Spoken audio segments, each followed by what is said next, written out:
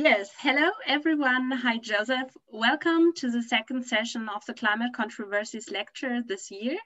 My name is Miriam Overhoff. I'm the director of Philippine Bureau in Cologne and I will be your co-host today. The Climate Controversies series in um, the Climate Controversies in Southeast Asia lecture is organized by Oliver Pye and Frank Seemann from the Department of Southeast Asia Studies at the University of Bonn in cooperation with the Asia House Foundation, Fridays for Future Hochschulgruppe, and the Philippine Bureau. In the Climate Controversies lecture, we could already welcome eight experts from Asia since November 2020 who reported and discussed the climate situation in the countries. After this lecture, there will be another one next week at the 27th of, no, uh, of January, and the lecture series will be concluded in two weeks with a panel discussion. I think it will be very, very interesting. And a very warm welcome to our speaker today, Joseph Purugganan. I met Joseph in 2019 for a meeting at Focus on the Global South in Quezon City, and we worked together on a publication one year ago. Joseph is a well-known guest for our organizations, and we have all had several events with him and have worked together for many years. Thank you for that, Joseph. and thank you very much for coming and sharing soon your experiences with us on the topic climate justice struggles in Southeast Asia. And I will hand over now to Isabel Kiel. Thank you, Miriam. I will quickly share my screen with you all.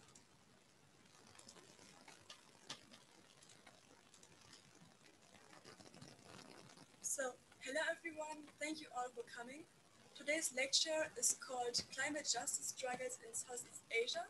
For this, we will welcome Joseph Purugganan. He is the head of the Philippine Office of Focus on the Global South. His main area of interest is on the broad theme of, of political economy of development, where he has examined issues related to the World Trade Organization, free trade and investment agreements, and corporate accountability. Focus is part of Climate Justice Now Network and has participated in the campaign to demand climate justice. It has also examined the linkage between the climate crisis and corporate-driven development. It has done research on clean development mechanisms, REDD, and other false solutions to climate change. Joseph was in Paris in December 2015 for COP21, where he wrote the statement, the world demands better, which underscored the inadequacies of the Paris, Paris Climate Deal. Joseph also represents Focus and the National Council of the Philippine Movement for Climate Justice. And um, I will quickly um, explain how the lecture works. First, we will have the lecture from Joseph for 30 minutes, and after that, we will have another 30 minutes for the discussion. So, Joseph, thank you a lot for coming today. We are all looking forward to your lecture. And I will now hand over to you. Thank you, Isabel. Thanks to Oliver and Miriam and all the other organizers for this opportunity to to share our perspective and maybe uh, give you a glimpse. No, it's an overview of some of the struggles that are happening across the region uh, that are can be linked to, to climate. Let me just share my screen now. Hopefully this will work.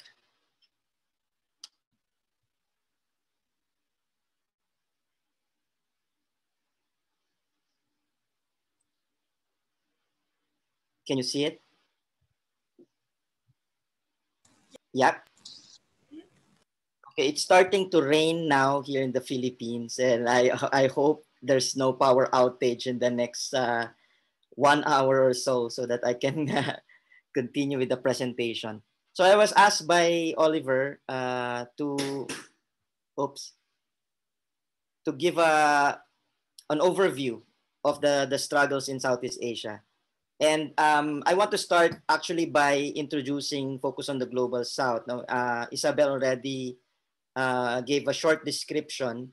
Uh, so Focus is a is a progressive uh, policy think tank and campaigning organization that works mainly in, in Asia. No, we have our headquarters is in inside the Chulalongkorn University in Bangkok, but we have offices in the Philippines, in uh, India, in uh, and in Cambodia. No, um, focus is uh, has was established 25 years ago. Uh, so we actually celebrated 25 our 25th anniversary last year, but obviously we didn't get to celebrate or we didn't have. Uh, usually we will organize a big conference to celebrate that, but uh, hopefully this year we'll have a series of uh, discussions as well.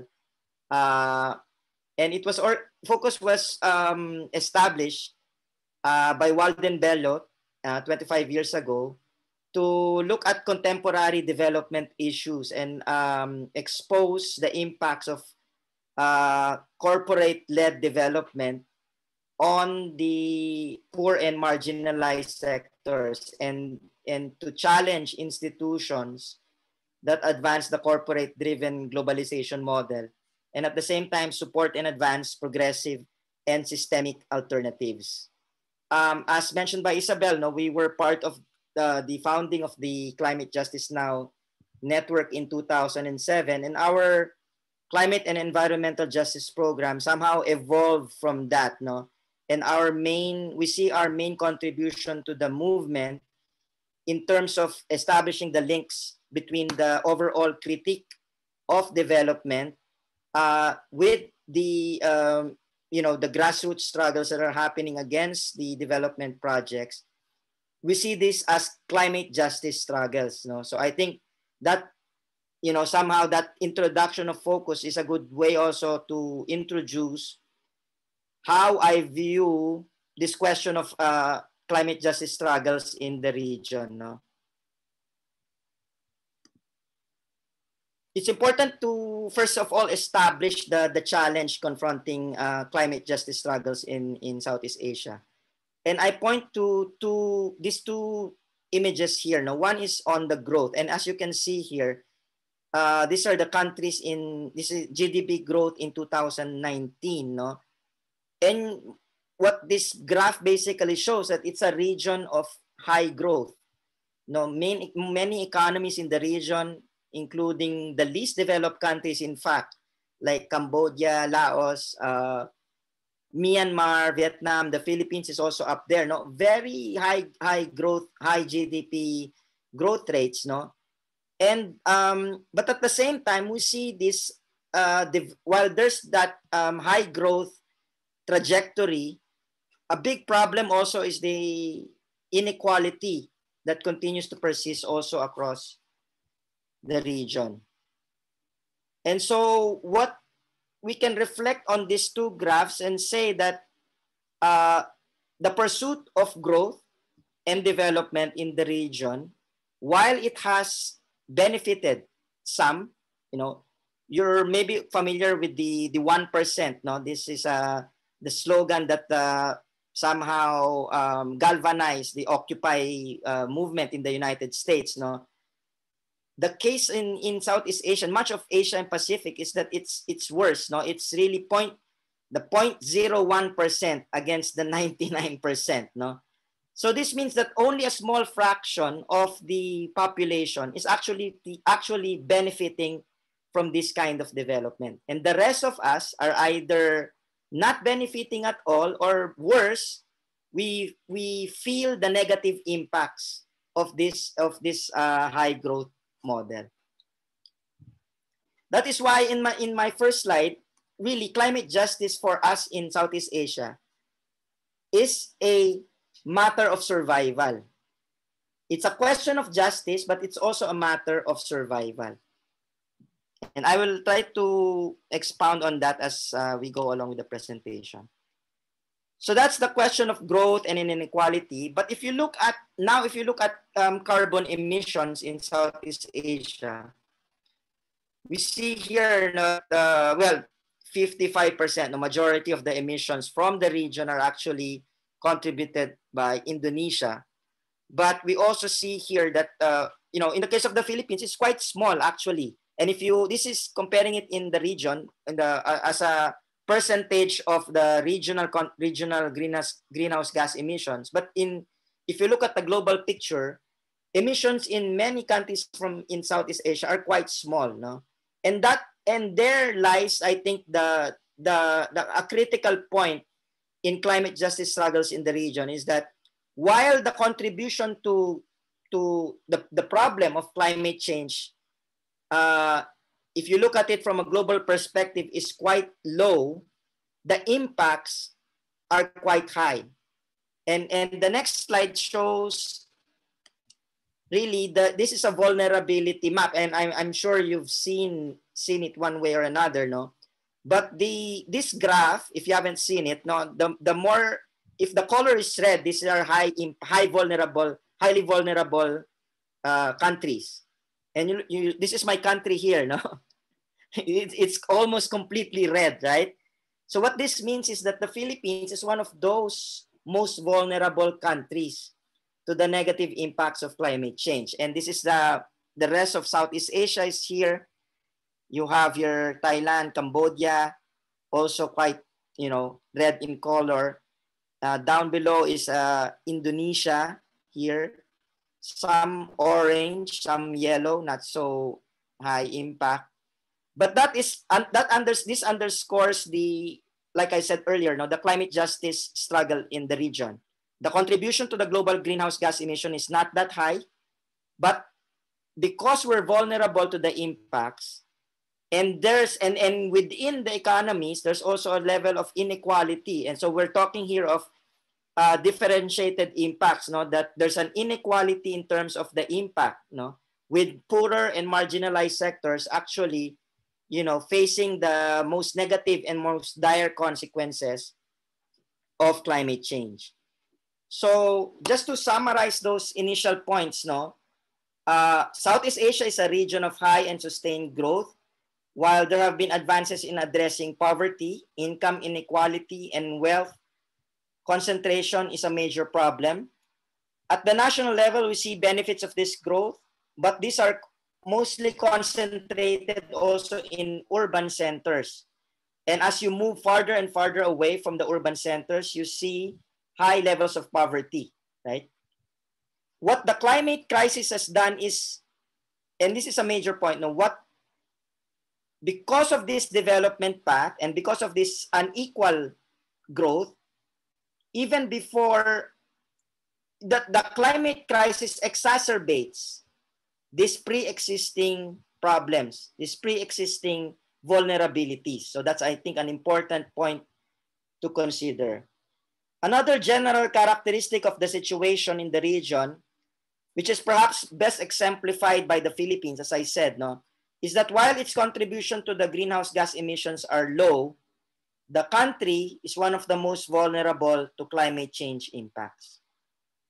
As you can see in this vulnerability map.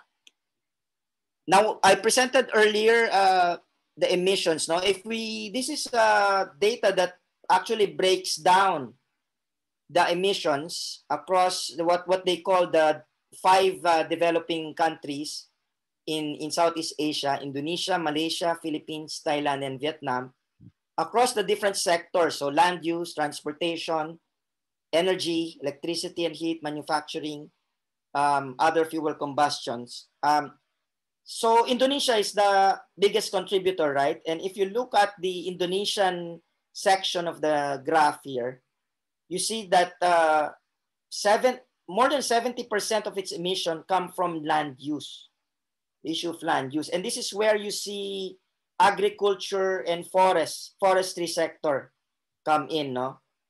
Uh, in the case of the Philippines, it's quite, it's, it's the highest sector as well with 48 uh, metric tons, million, uh, what's this, uh, CO2 equivalent, uh, which represents around 30 or so percent of overall GHG emissions from the Philippines. Um, the energy and the electricity sector is another major contributor to the growth of emissions. And it's, uh, it's important to reflect on these figures uh, in terms of the growth in emissions. Um, that, you know, it shows that while the pursuit of high growth and development has paid off for a few, it has it also has come with a price, no? And and the negative impacts on the environment unfortunately are felt most by communities in the margin. And it is also important to reflect on this data and relate them to the struggles that uh, some of the struggles that I will uh, describe in the later slides. No? So be mindful of these sectors and the struggles uh, that uh, I will describe later. One good resource that I found, and I don't know if uh, you're familiar with this, is this Atlas of Environmental ju ju uh, Justice, no? Environmental Justice Atlas, which um, documents and catalogs social conflict and environmental around environmental issues. So um, it says here in the description, no, across the world, communities are struggling to defend their land, air, water, forests, and their livelihoods from damaging projects and extractive activities with heavy environmental and social impacts from mining, dams, tree plantations, fracking, gas flaring, incinerators. As resources needed to fuel our economy move through commodity chain from extraction, processing, and disposal, at each stage, environmental impacts are externalized onto the most marginalized population. Often, this all takes place far from the eyes of concerned citizens or consumers of the end products. So the goal of this atlas and this and these reports are coming actually from the communities themselves, no?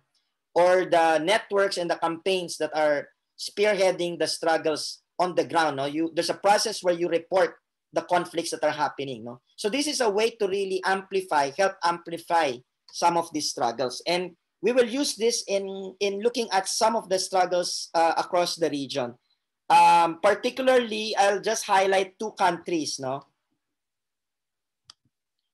One is Indonesia, where 128 cases of uh, environmental justice conflicts have been documented. And I will just like to point out three of the 128 cases that I, I think captures a range of sectors uh, and issues that are being tackled there's the the case of um, uh, palm oil plantation in Jambi province in Indonesia.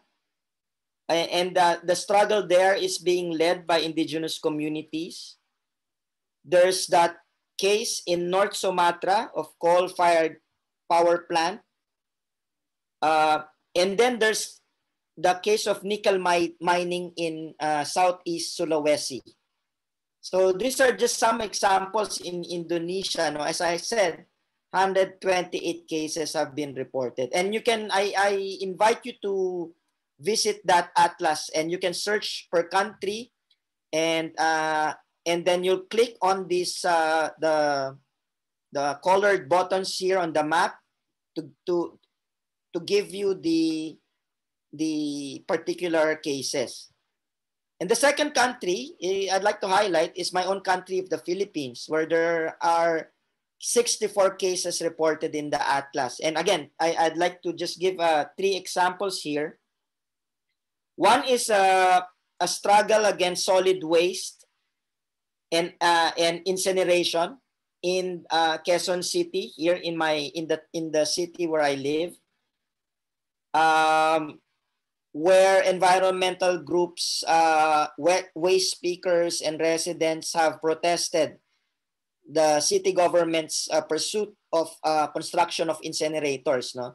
despite a national ban against incinerators and the, and the objections of local community.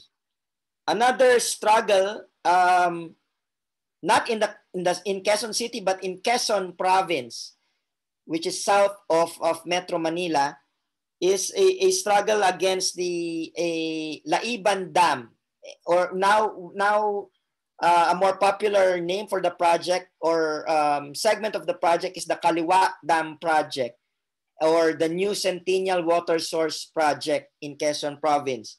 And this is a struggle of um, the Dumagat and Remontado in indigenous communities against a uh, Chinese-funded dam project no, that is supposedly uh, a solution. It's a proposed solution to the water crisis in Metro Manila, but that dam project will unfortunately displace um, um, indigenous communities in the province.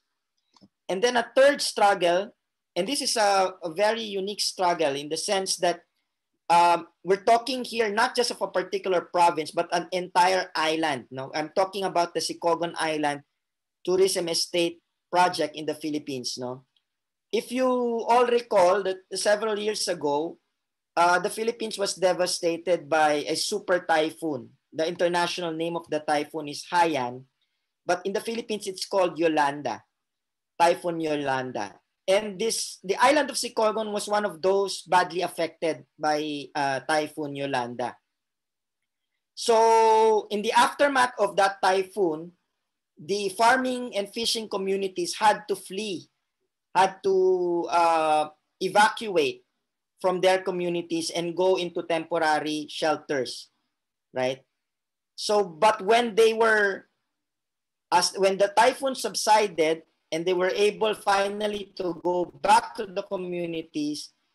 Now the, the residents were prevented from going back to their homes and the, the typhoon and the displacement caused by the, by the typhoon was used by this um, big uh, multinational company, local uh, uh, big company called Ayala Land to push for its agenda to put in place a SICOG, an island-wide tourism estate. No? And, they, and so they're offering uh, to relocate many of the, the, the island dwellers away from the island, away from their lands, no? because most of them are farmers and fisher folks, away from their livelihoods in order to pursue this uh, development project. So this is a case of in a way what what Naomi Klein referred to as disaster capitalism no when when a disaster like a, such as a super typhoon was used by corporate interests to actually push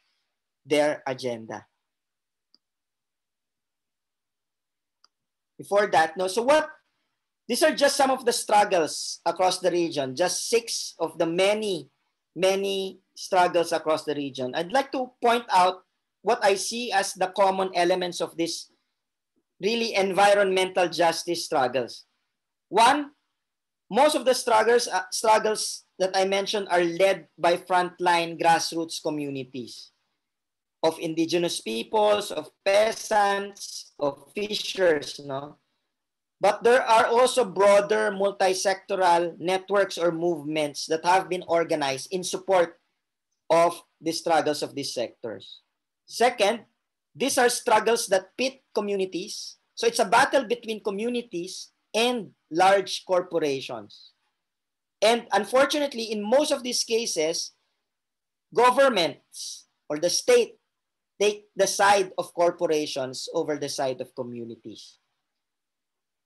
Third point I would like to highlight, uh, these struggles are uh, as much about environment and climate as they are about human rights. No?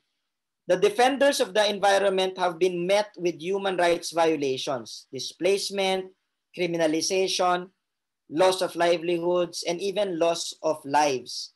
Now, many of these struggles are, are have been tragic no, for the some of the leaders leading these struggles because of, especially now in the context of the Philippines, where we have an authoritarian government, no, and uh, the full force uh, of, of government is really being used to ram down the throats of these communities, all of these projects.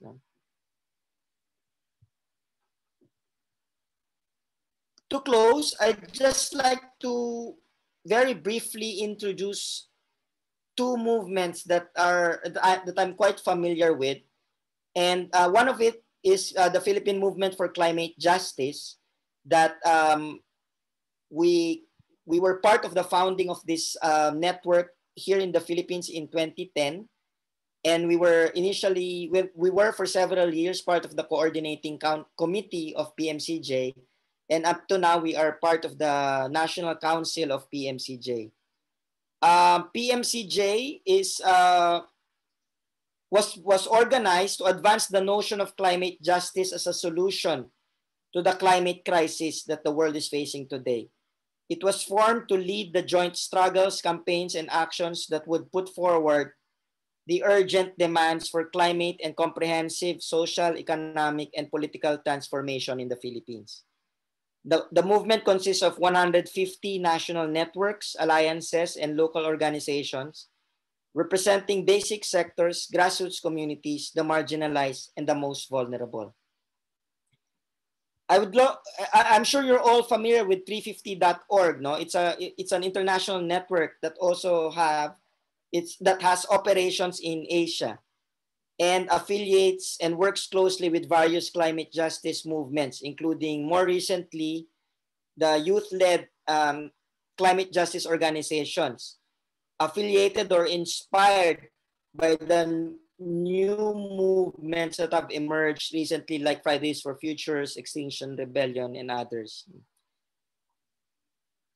I think a key challenge, I, I, I ended with the introduction of this climate justice movement, because I think the key challenge that we face now is that how do we forge stronger links between the movements and struggles that are led by the frontline grassroots communities against the destructive development projects with perhaps the more traditional uh, climate justice movements as well as the new climate justice movements that are emerging.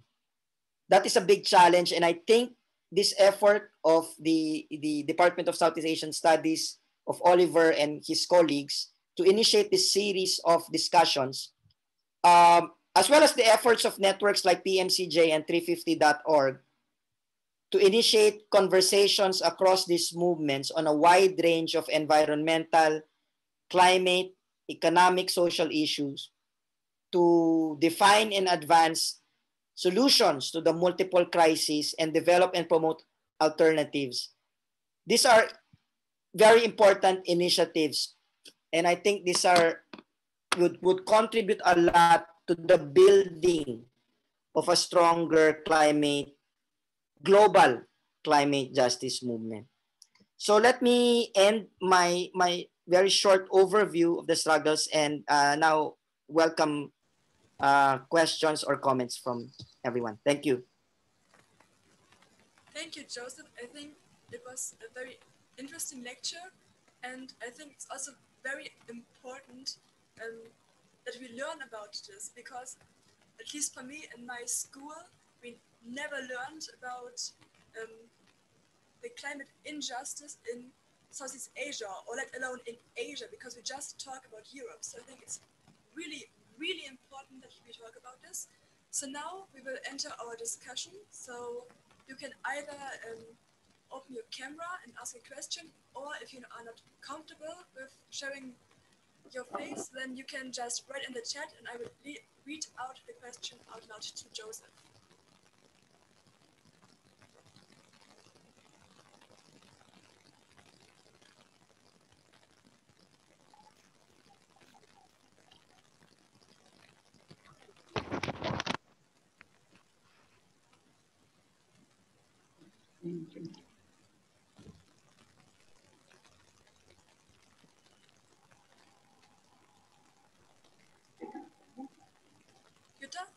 Yeah. Um, can everybody hear me? Because Isabel, I hear you very softly, uh, but can everybody hear me very well? That's yes. great. Um, so Joseph, again, thank you very much for your lecture. And um, the spontaneous idea I, uh, that came up to me was, um, it is a while that we had somebody from the Greenpeace Philippines uh, here in our lecture and um, who introduced um, uh, inter alia this problem with the uh, Yolanda uh, typhoon. And uh, now that you introduced so many uh, initiatives, how much do these initiatives, these NGOs work together? Yeah, well, it's a wide range of of groups and networks, no, and and and I'm sure in Germany as well, you see that there are areas where we work together, areas where some groups focus, for example, more on lobbying governments, while the others concentrate on really doing more grassroots work. No, but um, in, in, in those spaces where we converge, I think we work very closely. Um, one area where you know groups across this whole spectrum have worked on is this is is landmark case. Uh, maybe the Greenpeace uh, resource person mentioned this. No, that that was filed with the Commission on Human Rights here in the Philippines. Uh, so it's a human rights case against the carbon majors. No, so that that that uh, initiative was able to draw in uh, different groups and different organizations from across the, the wide spectrum of climate justice networks. In our case, with Focus, we chose to work and be part of the Philippine movement for climate justice because that's where we see, uh, as I said earlier, no, our contribution, the way we see it, is that we can uh, make stronger links between the overall critique of the economic development model of neoliberal corporate globalization that is being pursued with the on the ground climate justice struggles.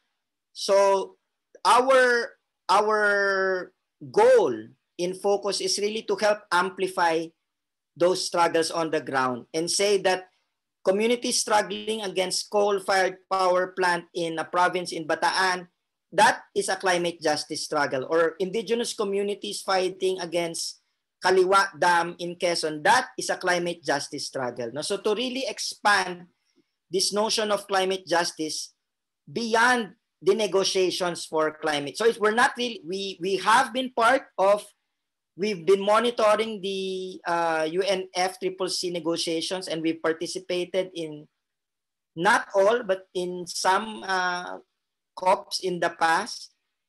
But we really see, we don't see real change happening because of what is being negotiated. No? And, and, and as I as what mentioned by Isabel in the introduction, our position on the climate uh, deal in Paris in 2015 is that it's not enough that the world demands a better deal, right? While there's a consensus among governments that it's a it's a good you know it's a good consensus document, the experts in fact are saying that this would result to what four five five uh, five degree warming, right? So really, I think if you want really um, radical change to happen, you have to support and really go down to the ground and really stop the projects that are exacerbating the climate crisis. I don't know if I answered it or I, I went uh, beyond the, the, the question, but thanks for that.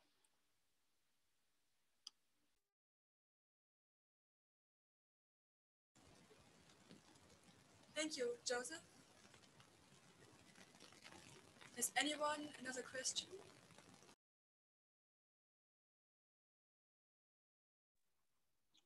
Can I um, ask one if no one else is uh, ready yet? Um, can you maybe just expand a little bit on uh, the Philippine movement for climate justice and um, what are your key demands uh, on a global level regarding climate justice you know, in, in a global sense? And what are your key demands for climate justice in the Philippines in the kind of more class sense. Yeah, so so in at the in at the global level, uh, it's really the demand is really to on develop developed countries, no. While we recognize the differentiated, uh, common but differentiated responsibility, I think we need to recognize as well the historical responsibility of uh, developed countries like uh, the United States and, and, increasingly also like China, no? Um, that historical responsibility is important for developing countries like the Philippines because of this idea of the climate debt. No, that many of the impacts and the, the negative impacts that we continue to bear now is a result really of that, that the development that took place hundreds of years ago or many 50 hundreds of years ago in developed in developed countries in the in the west in the north that development happened because of the the well to a large part the extraction of resources from developing countries the colonization the the, the, the relationship between um, uh, the the colonized and the colonizing states no?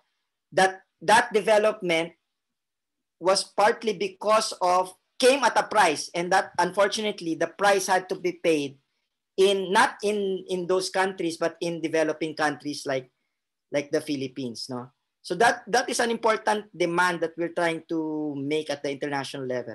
At the national level and I I I, I showed the the sectors no? And energy is a big sector in the Philippines aside from land use no? Uh in fact, the PMCJ, a, a big chunk of its campaigning is uh, is anti-coal, anti-coal campaign, um, because uh, the trajectory of development in the Philippines is really, you know, to sustain high growth, and unfortunately, you need fuel to sustain high growth, and the preferred fuel is really fossil fuel, no, and and particularly coal.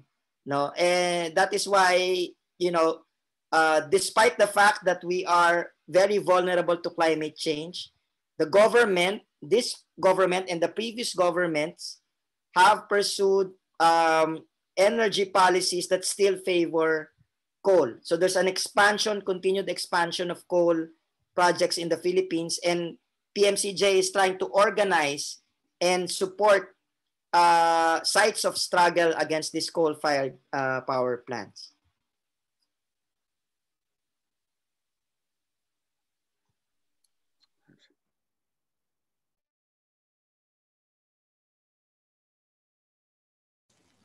Jutta?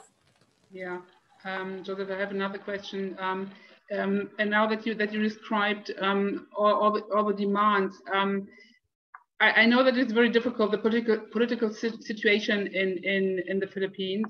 And um, but what do you think? How much do you need to work together with the government, or let me say, with the with the local uh, uh, um, local people representing uh, the governments?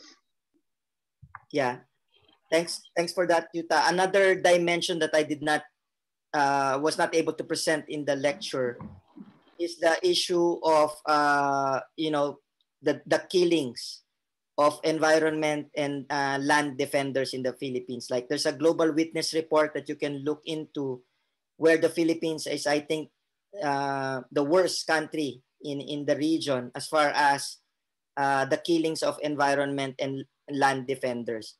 And this is um, particularly worrisome now under an authoritarian leader like Duterte.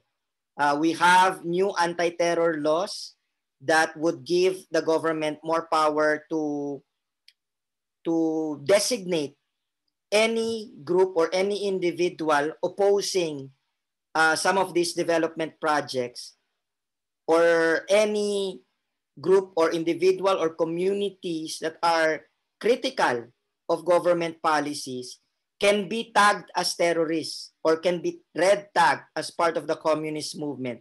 And when once you're tagged as either terrorist or part of the communist movement, you are then subject to arrest or worse, you can be killed arbitrarily. No, there's a the, the the the number of extrajudicial killings in the Philippines are rising. No, at at the beginning of the term of the administration, this was in pursuit of a war on drugs but now we've seen that you know any form of dissent is now being uh, met with violence by this uh, very authoritarian state.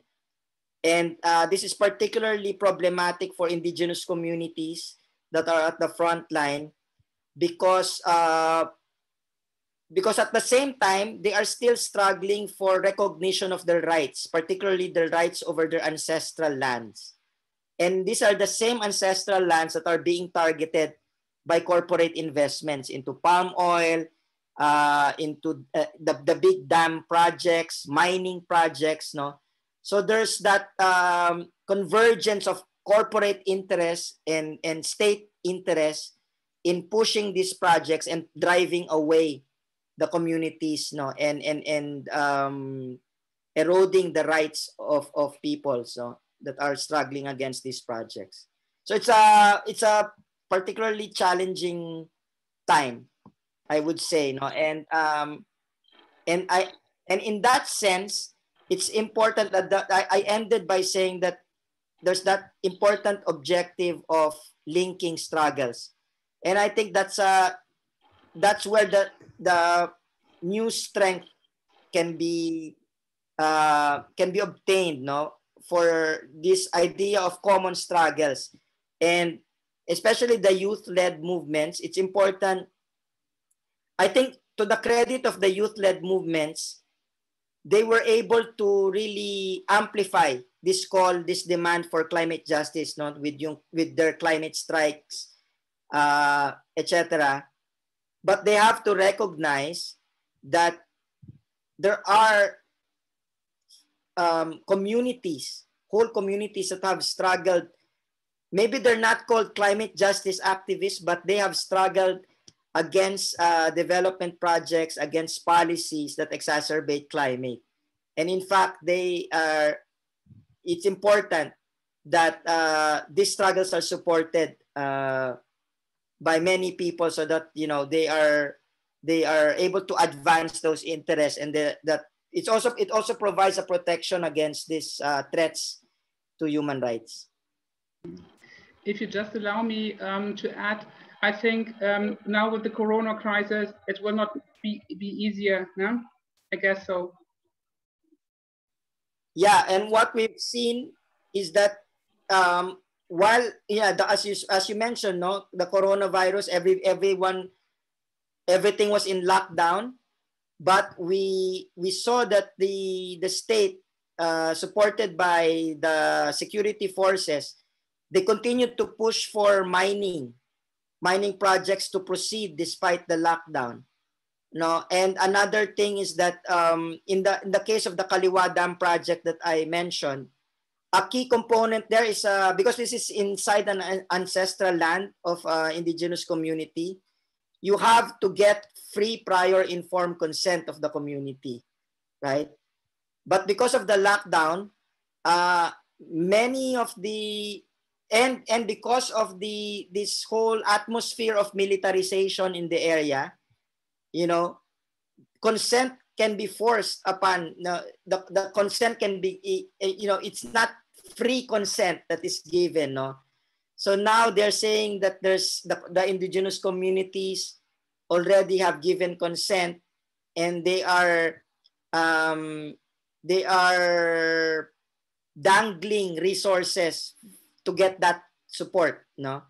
So they are saying to community leaders for example support this project and we will provide you with additional livelihood.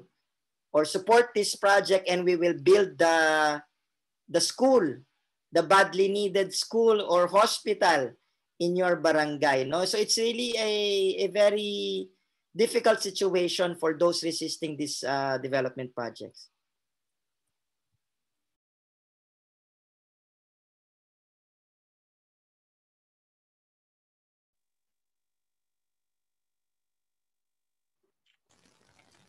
Thank you we, we still have time. Does anyone else any questions or want to say anything?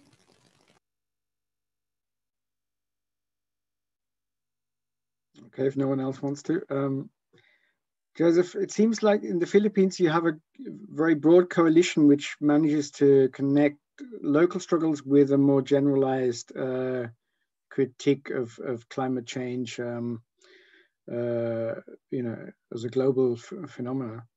Um, do you see similar movements in that way in other Southeast Asian countries? That's the first question. Uh, second question is, um, we, I mean, in Europe, the the climate justice movement was quite, it was mainly activists. before. And then suddenly the Fridays for Future movement made it into this, you know, very widespread movement. So, um, you know, we had massive demonstrations. I mean, much, much bigger than we ever had before.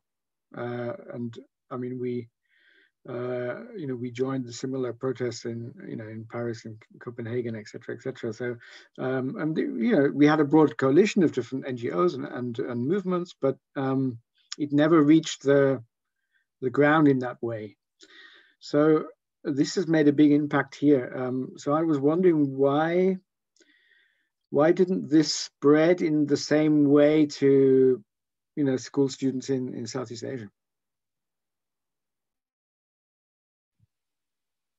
Well, well, to answer the, the I think the the emergence of the youth-led movements, mainly in Europe and the US, have also been uh, have also impacted the the mobilizations and the movement building efforts here in, in the Philippines and across Southeast Asia. I, I spoke to in prepare in preparing for this lecture, I organized a meeting with the the regional office of the 350.org just to find out how they're organizing across the region.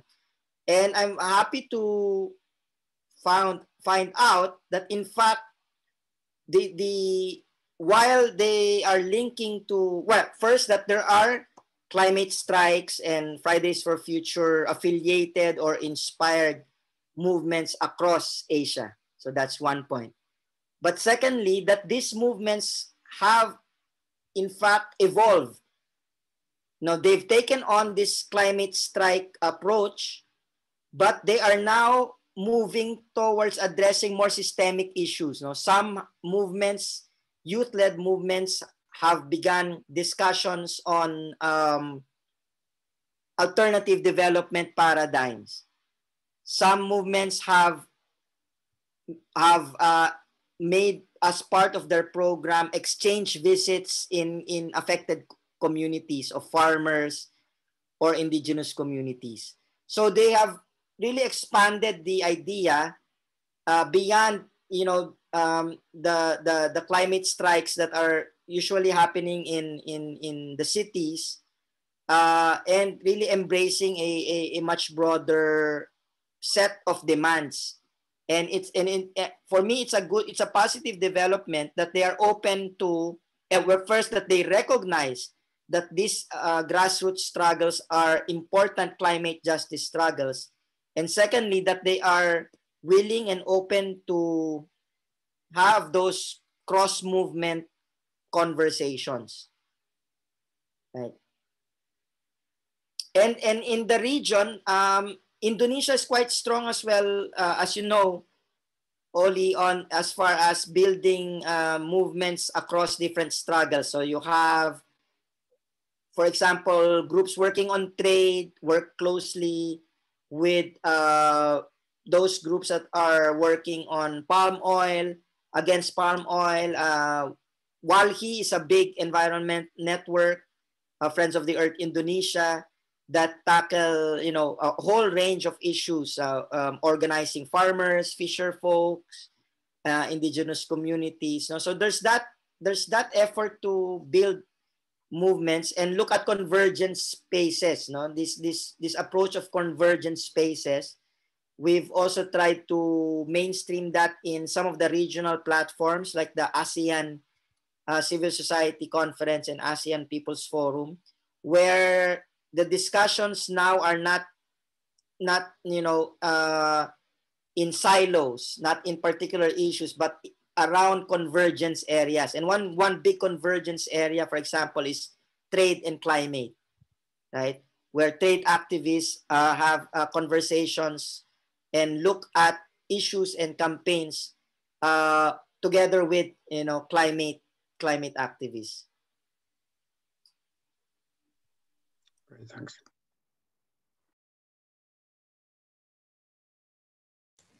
Um, I would have one question back to the um, extrajudicial killings and so on. We were talking a few minutes ago, um, because I experienced a lot of mistrust and also a lot of fear from civic society, civil society in the Philippines.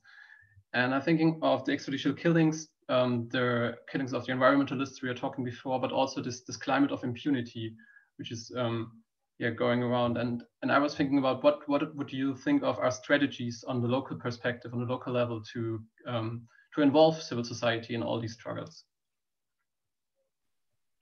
We're actually part of uh, a network, another network on human rights called uh, In Defense of Human Rights, I Defend Network so it's a network of human rights organizations, but also uh, other uh, civil society organizations, as well as some grassroots organizations. Um, so we're, I Defend is um, engaged in several campaigns. One of them is a campaign against this impunity. Know? Uh, there's also a campaign on social justice and then a campaign on the war on, on drugs. Um, one at the international level, one, one target of iDefend is really to put pressure, is to get more international support and solidarity to put pressure on the government, on the Duterte government. So there are several platforms that we've been using. One is the United Nations Human Rights Council, um, where we engage with governments across uh, the globe, no? And and um, the latest development there is that the High Commissioner on Human Rights has put out a report, in fact, a scathing report no, the, of the High Commissioner that says that the human rights violations in the Philippines are widespread and systematic. No? So this is not just related to the war on drugs, but even, even the, the attacks against indigenous communities have been documented already. Unfortunately, the Philippine government has refused to acknowledge the report. And it has, in fact, come out with its own narrative in its own report. And the narrative of the Philippine government is to say that that is all not true. The human rights violations are not happening. And these are all just misinformation coming from very few but well-funded terrorist organizations, communist terrorist organizations. So they were able to really flip it back and and and now it's a justification as well for pursuing a all-out war or counterinsurgency no and the the the really bad thing about that is that the environmental defenders that the communities of farmers and indigenous com indigenous peoples who are not part of the communist movement are being targeted as well so there's that general uh, sense of fear, as you said, no. Uh, so it's the it's really the state terrorizing its own people. You see a lot of in a lot of the communities where there are struggles, whether you, you're speaking of mining struggles, dam struggles, land struggles, these communities are now very militarized. No, they're now very militarized, and uh, it it it's in the the space for organizing, for educating communities have really have really diminished. No, there's that uh, the shrinking space, and and and and in the situation is really very problematic. Uh, that is why this is also the I think the important aspect of international solidarity work comes in. And I defend is also hoping to to build a network of uh, outside the Philippines that support the human rights struggles inside the Philippines. So I don't know if I respond answered your question, but that's what we are trying to do. It's a very difficult situation that we have, especially now with new laws, anti-terror laws in place. Uh, the, the latest news now is that the there's the University of the Philippines that is here in Quezon City. It's a, it has been a bastion of uh, activism, no? uh, for for many years, uh, dating back to the Marcos dictatorship. And there was a long time, almost 30 year agreement with the, de the, Defense Department that the, the, the Department of Defense would recognize the autonomy of the university. And it, they cannot just go, military and police cannot just enter the university and arrest anyone. No, but now the DND has unilaterally abrogated that agreement. So they are now saying that yeah, UP is bastion of radicalism. It is a recruitment ground for terrorists and communists. Therefore, we should have, the military should have the, the freedom to go in and out of the university and arrest anyone who's uh, espousing, uh, you know, these radical ideas. So it's a very dangerous time, no? And um, and uh, as I said, no, it's important that we more people are made aware of the real situation in the Philippines and that hopefully there's more international solidarity in support of these struggles.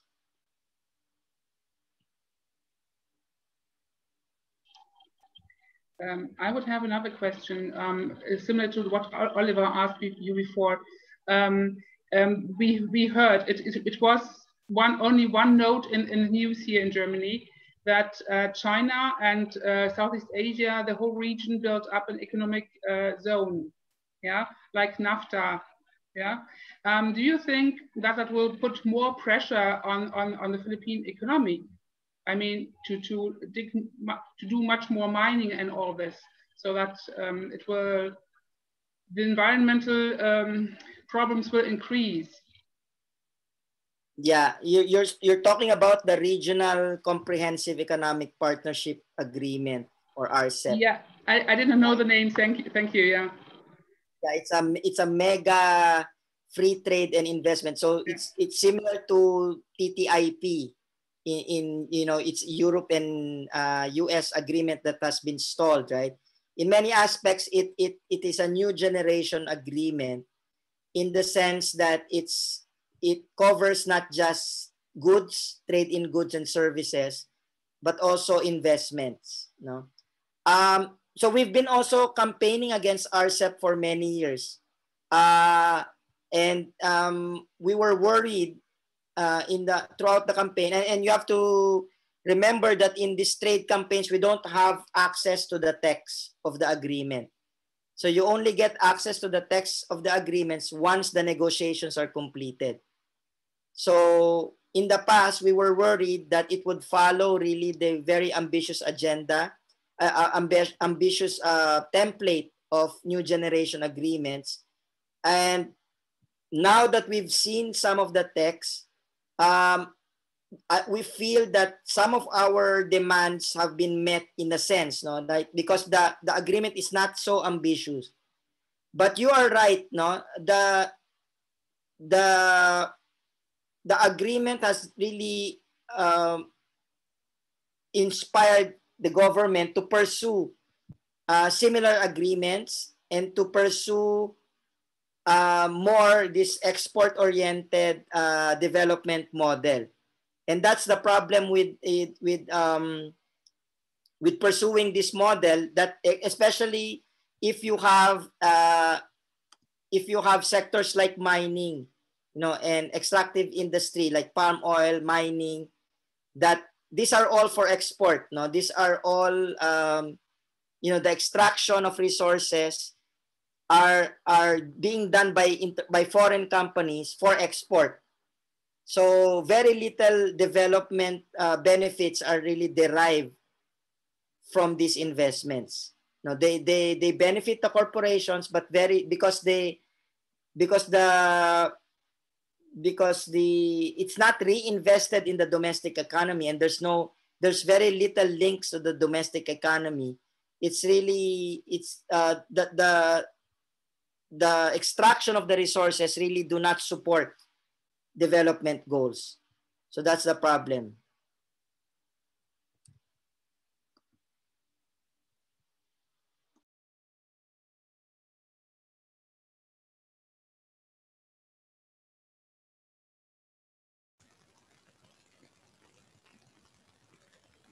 still have some time. Does anybody else has a question?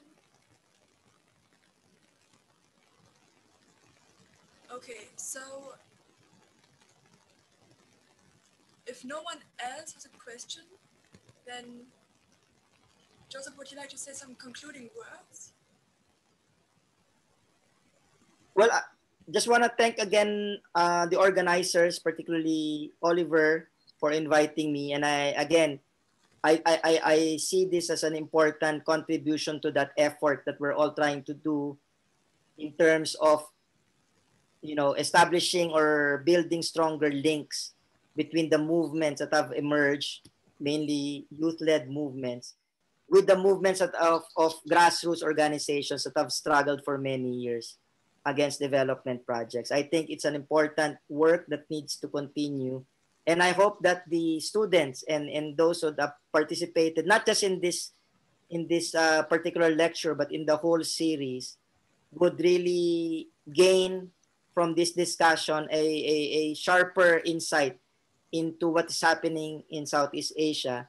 And hopefully this can be the start of building uh, international solidarity across these regions to support these struggles. So again, thank you very much for, for the time and the opportunity.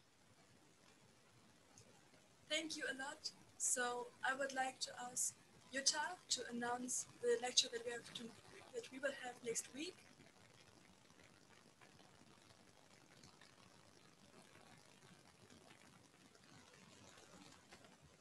Okay, I guess Oliver is going to show us the the the um,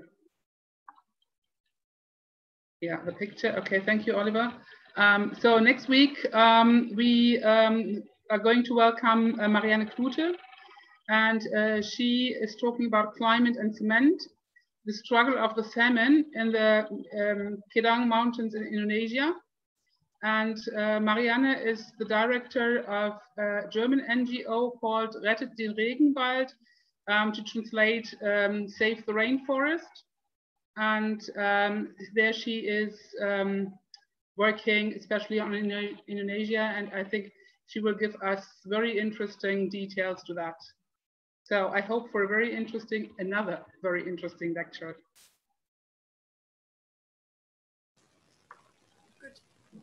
Thank you, Jutta, and thank you everyone for coming. And I hope a lot of people come also next week. And again, thank you, thank you, Joseph, for your time. And for thank this, you. I would like to end this lecture. Thank you all very much. Thank you so much. Bye. Thanks. Thank you, Joseph. Joseph, Bye. good talk. Bye. Bye.